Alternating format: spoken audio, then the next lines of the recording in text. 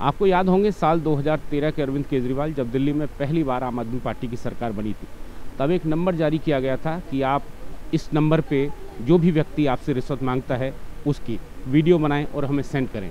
हम उस पर कार्यवाही करेंगे। ऐसे ही हमारे साथ कुछ लोग मौजूद हैं, जिन्होंने इस अधिकार का जब प्रयोग करना चाहा, तब आम आदमी पार्टी के विधायक किस तरह से उनसे बर्ताव करते हैं, ये जानने की कोशिश करेंगे। आपका नाम क्या है? जमुना रानी। मेरे क्या मामला है? मोबाइल छीने जाने का कुछ मामला है? देखो पानी के ऊपर झगड़ा हो रहा था ना जैसे हम सब लोग अंदर गए कहाँ की बात है? कब की बात है? पूरी बात ऑफ़िस की बात है ये तेरह अक्टूबर की बात है।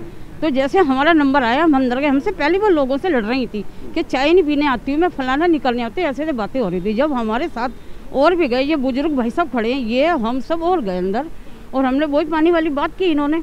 तो वो कहने लगी तुम्हारी कॉलोनी को पानी नहीं दूँगी क्योंकि सुनील सोलंकी नाम का एक लड़का है जो हमेशा मेरी कंप्लेंटें करता है।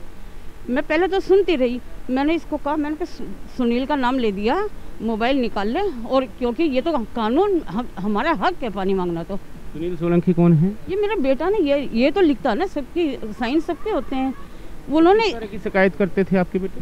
पानी के लिए ना, कि पानी दो, हमारी गली को गटर का पानी, अभी भी सुबह जो पानी आ रहा है, वो गटर का पानी मिक्स होके आ रहा जो आधे एक घंटे दे रही हैं, वो वो भी गटर का पानी मिक्स है। तो वो कहने लगी, तुम्हारी गली को नहीं मिलेगा। सुनील सोलंकी तब तक मेरे से माफ़ी नहीं मांगेगा, नाक नहीं रगड़ेगा, मैं तुम्हारी कॉलोनी को पानी नहीं दूँगी। अब कॉलोनी वाले देखो, मेरे बेटे के लिए कितना गलत सोचेंगे ना। मैंने कहा, मैडम, मेरी सुनोगे आप? कहती हाँ सुना तो क्या सुनाना चाहती? मैंने कहा, मैं यही कह रही हूँ कि मेरा बेटा कंप्लेंट नहीं करता। कहती मैं प्रूफ दिखा सकती हूँ। मैंने कहा मैडम हम भी प्रूफ दिखा सकते हैं आपको। सारी कॉलोनी के साथ हम हैं हमारे साथ वो हैं। पानी मांगना तो हमारा हक है। वो कहती है तू ज़्यादा बोल रही है सौ नंबर पर फ़ोन करो इसको बाहर फिर भी सो रखो और उसी समय मेरे पोते के हाथ से मोबाइल छीन के कहा इसे मारो बाथरूम में ले जाओ इसको। कितनी उम्र कितनी आपकी? सड़सठ साल है मेरी। देखिए बड़ी बात है सड़सठ साल की एक बुज़ुर्ग महिला अगर अपनी शिकायत करती हैं अपनी विधायिका को तब उनको इस तरह से दुदकारा जाता है। बड़े शर्म की बात है सीनियर सिटीजन के साथ में ऐसा व्यवहार किया जाता है। साथ में मोबाइल छीना जाना। वो मोबाइल जिसके ज़रिए उस बात की तस्दीक की जा रही थी, उस बात की रिकॉर्डिंग की जा रही थी कि वास्तव में किस तरह का बर्ताव जो है विधायक अपने लोगों के साथ में करती हैं। फिर क्या हुआ?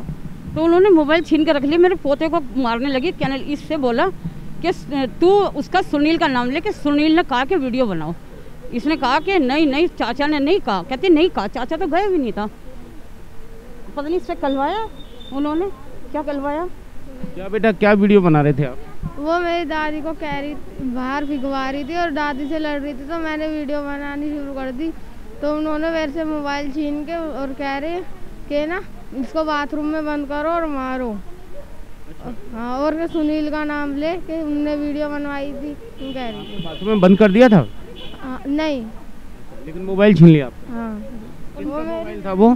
मोबाइल का था पढ़ाई का मोबाइल था मेरी बहन का। अच्छा। देखिए ऑनलाइन ऑनलाइन ऑनलाइन एजुकेशन आजकल जारी है लॉकडाउन की वजह से और एक नया मोबाइल इस बिटिया के लिए ख़रीदा गया परिवार वालों ने ख़रीदा ताकि ऑनलाइन एजुकेशन जो है वो जारी रख सके। वही मोबाइल इस बच्चे के पास में था उसी से जो है रिकॉर्डिंग करने की कोशिश की गई इस बच्चे के द्वारा तब उस मोबाइल फ़ोन को छीन के जब्त कर लिया गया। किस तरह से अब इस बच्ची की ऑनलाइन पढ़ाई होगी ये भी सोचने वाली बात है। ऑनलाइन पढ़ाई करने के लिए मोबाइल दिया गया था वो? हाँ। कहाँ है मोबाइल आपका? वो भावना गौर जी के पास ही है। अच्छा अभी तक वहीं जमा है? हाँ। तो अब कैसे पढ़ाई होगी आपकी? तो वो तो हम अभी चाची से फ़ोन लिया था दिसंबर में लिया था वो अब उससे कर रही हूँ मैं पढ़ाई। तो तो अब किस तरह से आपने उसके बाद कोई पुलिस शिकायत की? पुलिस शिकायत भी की है और पुलिस आई भी है हमारे घर तो आज का उन्होंने नाम लिया कि हम आपको बुधवार को दे जाएँगे मोबाइल। भावना गौड़ ने कहा था, जब हम उसी दिन, कहती, मोबाइल नहीं मिलेगा अब चक्कर काट, तेरे को पता लगेगा। और तेरे, हमसे तो एक ममता नाम की लेडी है, वो लेडी शिकायत करती है आकर, कि सुनील सोलंकी है, उस, जो भी कर सकते हो, उतना बुरा करो उसके साथ। पता नहीं कौन ममता नाम की लेडी वो वो खुला, खुलासा करें अब हमारे लिए, क्योंकि वो तो पर्सनल लड़ाई बना दी उन्होंने। आप देखें, कितनी दुश्वारियाँ हैं आम लोगों के साथ में, ये परिवार, ये बच्चे, बुज़ुर्ग, महिला विधायक का इस तरह का व्यवहार वाकई अशोभनीय है, क्योंकि जो सुनील नाम के व्यक्ति हैं, इनके पुत्र हैं और वो हमेशा से जो पानी की समस्या है, इसी को उठाते रहे हैं। विधायक के सामने जब विधायक के यहाँ से प्रॉपर उत्तर नहीं मिला या फिर पानी की समस्या हल नहीं हुई तब उन्होंने इसकी जो शिकायतें हैं यानी जन समस्याएँ हैं उनको ऊपर उठाया और उसकी वजह से इन लोगों का मानना है कि विधायक का जो गुस्सा है वो इनके और इनके परिवार पर टूटा और आज भी वो मोबाइल इसी वजह से वहाँ पे जब्त है विधायक के कार्यालय में और इनको वापस नहीं मिल पा रहा। तरह की मैं- चर्चाएँ? मैं एक बात कहना चाहूँगा कौशिक जी।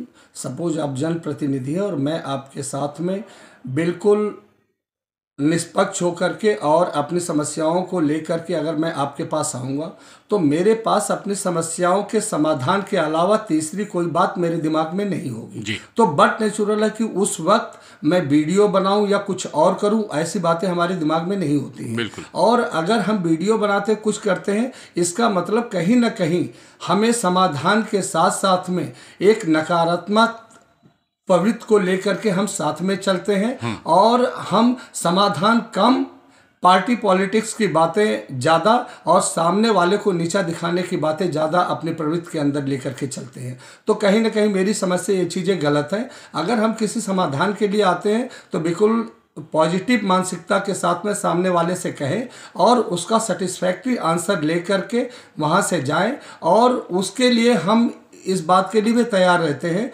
अगर ऐसा है, चाहे कोई भी मोबाइल किसी का लिया हो तो उसको एक एहसास होने के बाद में कि कहाँ पे हमें वीडियो बनाना चाहिए, कहाँ पे वीडियो नहीं बनाना चाहिए, कहाँ पे हमें क्या बात कहनी चाहिए, क्या बात नहीं कहनी चाहिए, इस बात का एहसास होने के बाद में उसको वापस मिलना चाहिए। बहुत बहुत धन्यवाद। जब इन लोगों ने इस बात की, पुलिस से शिकायत की, उसका भी पुलिस से कोई जवाब नहीं मिला। और पुलिस भी इनका जो मोबाइल है, वो आज तक बरामद नहीं करा पाई है। सहयोगी विजय त्यागी के साथ मैं अनंत कौशिक।